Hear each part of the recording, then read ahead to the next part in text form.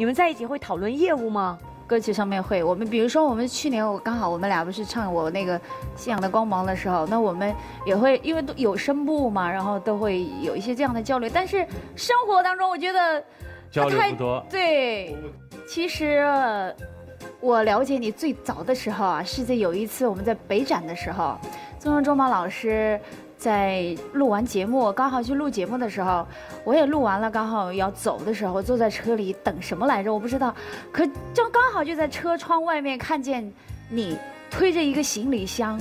帮宗荣周马老师推着行李从那个台阶上，然后推着行李以后，你把车给倒出来，然后让坐到车里，然后装行李。然后没想到宗荣周马老师在录节目的工作的时候，你完全就是一个助理状态，助理的状态，放下自己就是那么个孝顺的那种。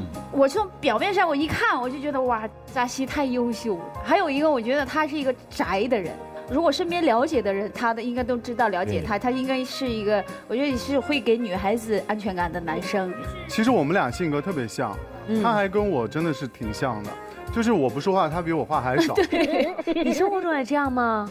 我生活中对我就身边的朋友啊，就是大家知道的，像云飞哥也好，还有其他的一些徐子薇老师他们等等的，就基本上生活中就没有怎么聚过，就是这种。我们结工作结束以后，包括扎西哈，我们工作结束以后。扎西基本上每次都说啊，我走了啊，好，我走了，再见。走的最快的那个，啊，拜拜拜拜拜拜，我就我我结束了啊，我再见，就是这样。那就是我们三个差不多是一个性格。我生活中不怎么说话，哦我也愿意在家待着。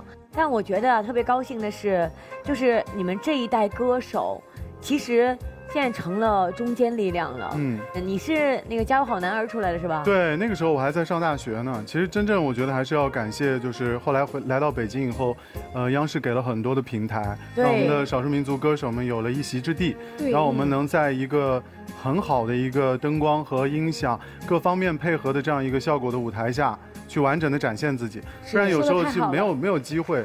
你说让我们自己支个台唱，那真的也唱不出那个效果。是确实是特别感谢，特别感谢。是的。